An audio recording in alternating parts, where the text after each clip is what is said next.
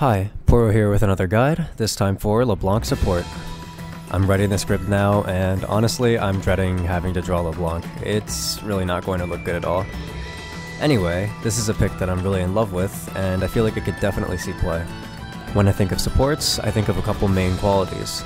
I like supports to have utilities such as CC or disengage, I like supports to be able to contest in 2v2s, and I like supports to have a large impact in teamfights.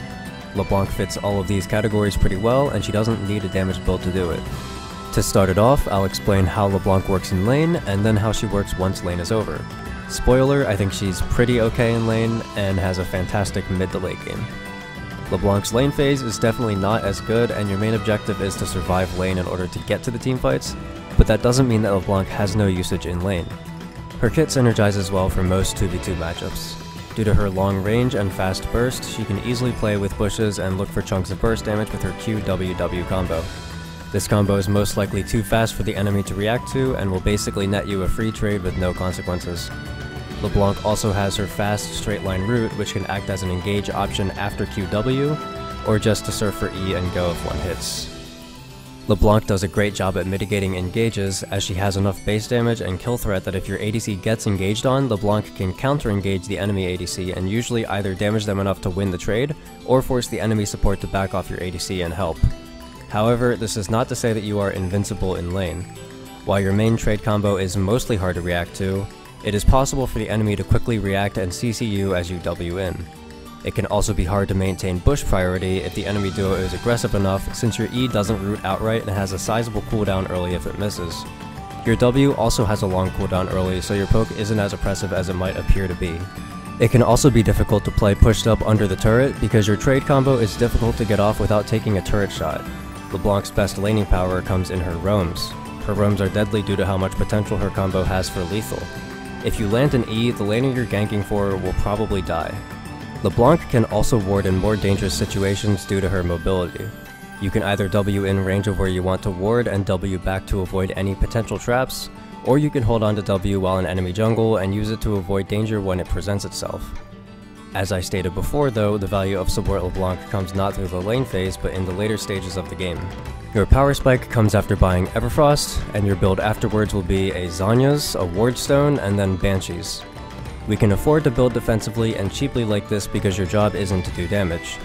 Instead, your job is to look for Everfrost set up with your dashes, and then take advantage of the fact that you have three separate roots. You can play super aggressively with these roots due to your Zhonya's and layer Banshees. While you don't have the ability to burst squishies instantly, you do still have quite a large amount of base damage paired with a respectable amount of AP and can output huge chunks of damage. With the amount of CC and mobility in your kit, your teamfight presence is off the charts, Mid-game and late game really are your bread and butter. The ability to ward aggressively with little risk is a fantastic support skill alone, but the big upside of LeBlanc roaming for vision is that she takes on the role of the attacker when she's found instead of the other way around. Most support champs need to be careful when looking for vision and will die or need to burn summoners when they get caught. LeBlanc completely flips the script and the enemy team have to be careful when LeBlanc is roaming for vision. As mentioned before, she can output chunks of damage while staying safe and has amazing setup with long durations of CC, meaning that her ability to find picks for her team is very high. Overall, your role as LeBlanc support is to play as a disruptor to the enemy team, forcing them to feel uncomfortable at all stages of the game. In a sense, LeBlanc is a better version of Shaco support, which was actually my original inspiration for trying it out. For runes, you'll take Glacial Augment or Electrocute. The choice is highly dependent on your playstyle, with Glacial being the more utility-based keystone with your Root and Everfrost, and Electrocute being a more lane and mid-game pick dominant rune for burst damage. I always opt for Glacial, and I take both Stopwatch and Futures Market with Cosmic Insight. Cosmic Insight is very important, as every core item you get has an item cooldown, and your main aggression comes from whether these cooldowns are available or not.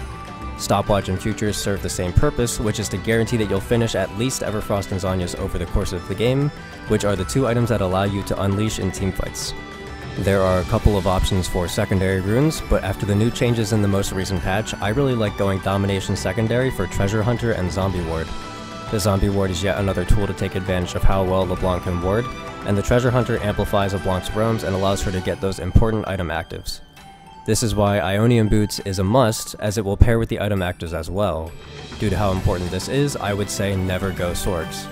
You're a support and your job is not to kill people. The Electrocute page is really similar, with Inspiration secondary to go Stopwatch and Cosmic Insight. TLDR, good trading potential in lane, risk-free aggressive warding, great pick potential, and lots of disruption in teamfights. That's all I got for this guide. If you enjoyed, consider leaving a like or subscribing.